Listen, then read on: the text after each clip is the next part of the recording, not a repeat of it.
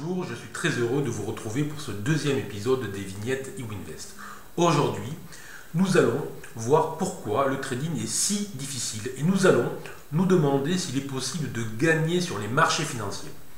À ce propos, je reçois énormément de mails qui me félicitent pour euh, le parcours que j'ai accompli depuis maintenant 23 ans et qui me demandent souvent de l'aide. Sachez que dans la mesure de mon temps et de mes moyens, je réponds toujours et j'essaye toujours de vous aider du mieux possible.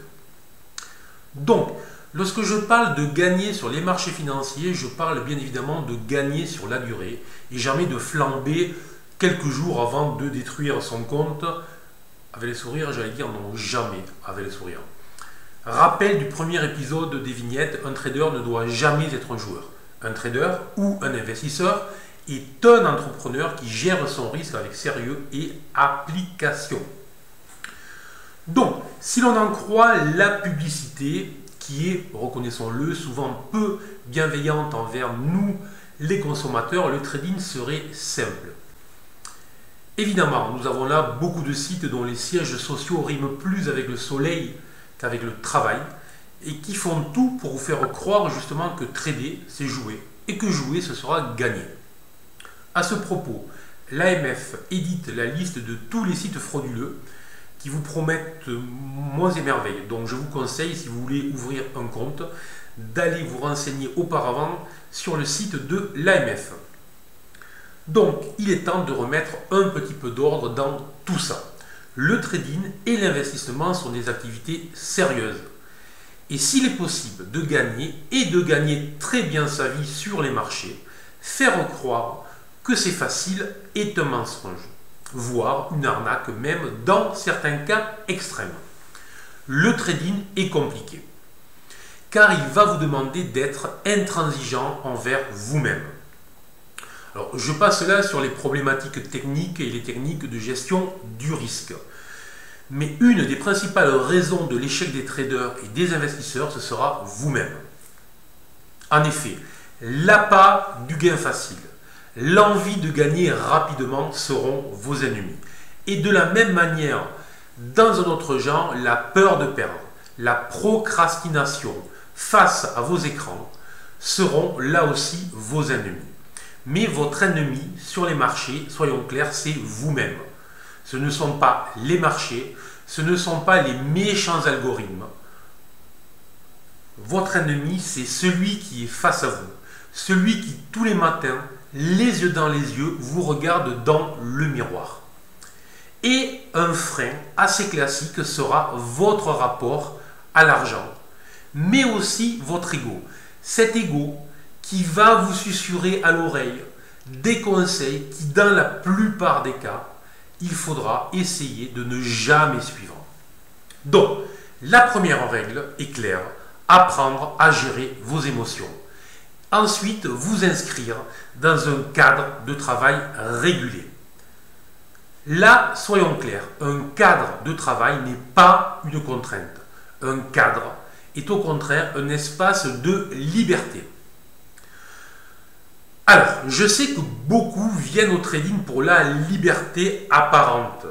Vous voyez les guillemets la liberté apparente pour pouvoir travailler allongé sur une plage au soleil avec un ordinateur portable. C'est une blague.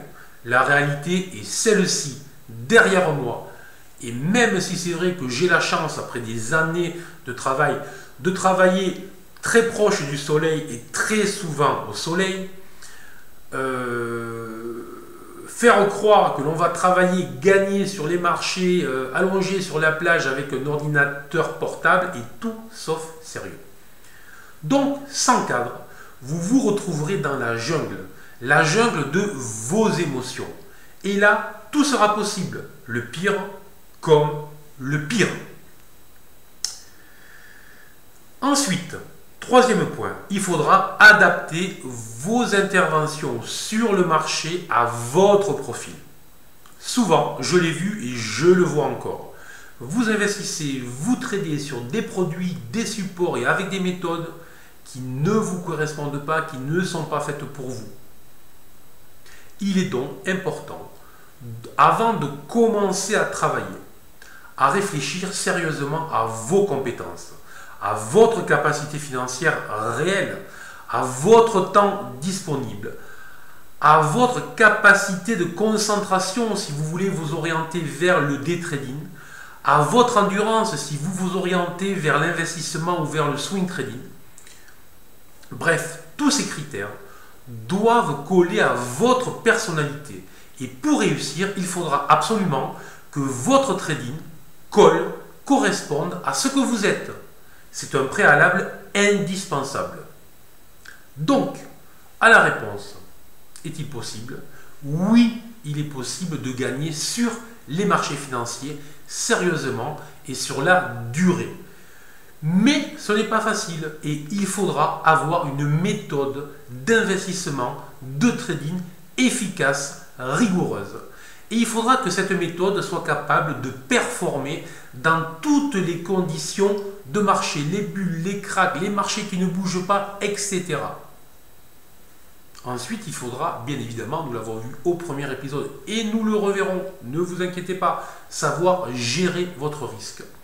Et comme nous commençons à le voir dans ce deuxième épisode, avoir développé les capacités psychologiques adéquates et avoir construit autour de soi un cadre de travail rigoureux et discipliné. Voilà, donc je vous dis à très bientôt.